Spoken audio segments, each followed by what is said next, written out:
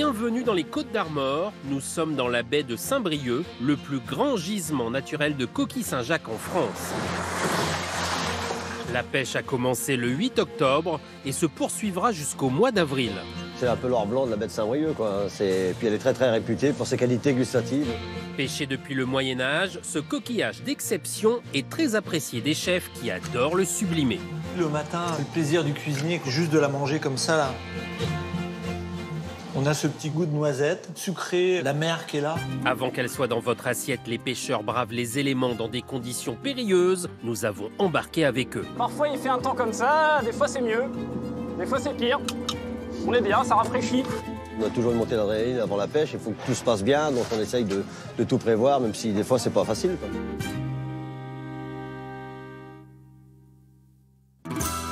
Heures, le port de Saint-Quay-Portrieux se réveille. Jean-Michel va lever l'ancre. Deux jours par semaine, 80 bateaux appelés les coquillers se répartissent ce territoire hautement protégé. En effet, la pêche est soumise à une réglementation très stricte. En ce début de saison, il faut une heure de bateau pour rejoindre la zone de pêche autorisée. Là, on va aller du côté de la Longue, en fait. Une roche qui s'appelle la Longue. là. On est ici, et puis on va aller travailler ici. Les pêcheurs disposent d'une durée limitée à 5 heures pour récolter 750 kg de coquilles. Des bateaux, des avions et même parfois des drones surveillent cette pêche, s'assurant que la durée est respectée. La pêche débute à 9h, donc là, il est 8h46 et 40 secondes, donc on a encore un peu plus de 13 minutes à attendre. Le compte à rebours a commencé pour Jean-Michel et Édouard, son jeune matelot. Ils doivent maintenant s'équiper avant de lâcher les dragues à la mer. La drague, c'est une espèce de, grosse cage en fer avec des, des dents d'une certaine taille, d'un certain écartement, qui traîne au fond. Et du coup, l'écartement fait qu'il n'y a que telle ou telle taille de coquillage qui rentre à l'intérieur. Il est 9h pile. C'est parti pour notre équipage. Ils n'ont pas une minute à perdre.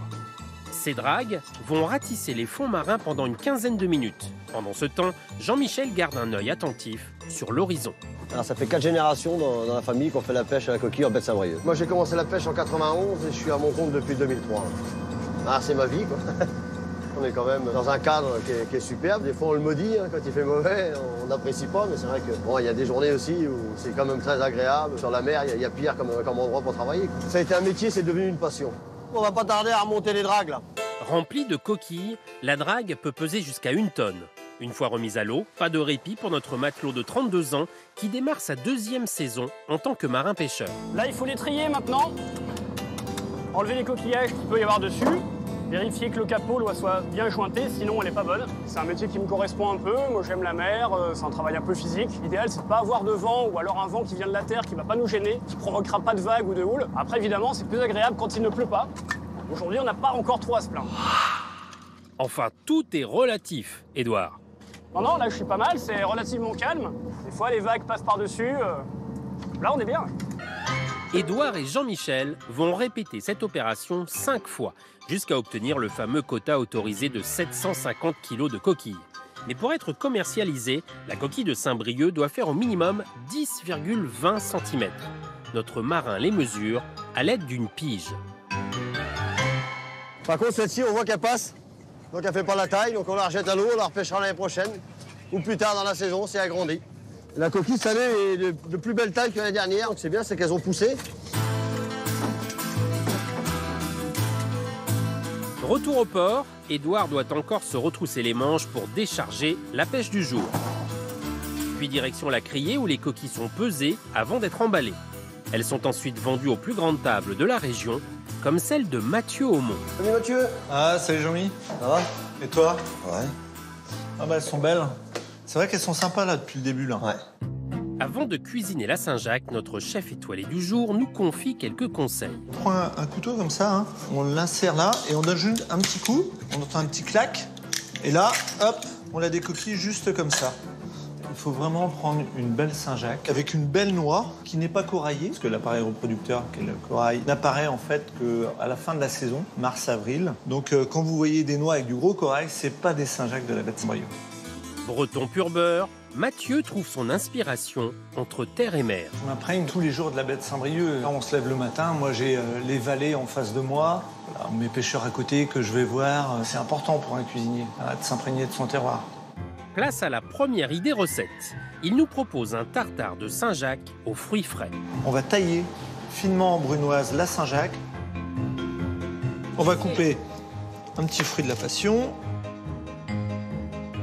une belle mangue, un peu de brunoise d'ananas hein, pour euh, agrémenter, Il ajoute de la fleur de sel, du piment d'Espelette, quelques noisettes torréfiées pour amener un peu de croquant. Des herbes fraîches, une vinaigrette et c'est parti pour le dressage. Mathieu nous propose ensuite des Saint-Jacques poêlés à la plancha avec quelques betteraves. Donc là, une belle betterave blanche. Ça, c'est du sucre. On n'a qu'une envie, c'est de la manger. Il la découpe en brunoise et cuit quelques coques dans une casserole. Alors, on entend, ça chante. Ça met euh, quoi 20 secondes et pour nous elles sont cuites. quoi. Il dépose les Saint-Jacques sur la plancha pendant 15 secondes de chaque côté. On va juste les laisser un peu euh, griller sur chaque face. Ça va accélérer un peu ce petit côté noisette. Le but c'est qu'elles soient bien croustillantes sur le dessus et puis après voilà qu'à l'intérieur on ait ce côté cru qu'on croque encore euh, la mer en fait. Et voilà, c'est toute la baie de Saint-Brieuc que l'on retrouve dans une assiette. Alors dernière déclinaison, la Saint-Jacques au naturel, cuite dans sa coquille, un petit peu beurre, bien sûr du beurre salé. hein. On est en Bretagne. On y va pour 5 minutes au four à 210 degrés. C'est parti. On se met ça en apéritif, une par personne. Cette année, la pêche dans la baie de Saint-Brieuc commence fort. Les spécialistes estiment que 26 000 tonnes de coquilles pourraient être pêchées une bonne saison, même si l'on n'atteindra pas les records de l'an passé. Il ne reste plus qu'à croiser les doigts pour que la météo soit clémente.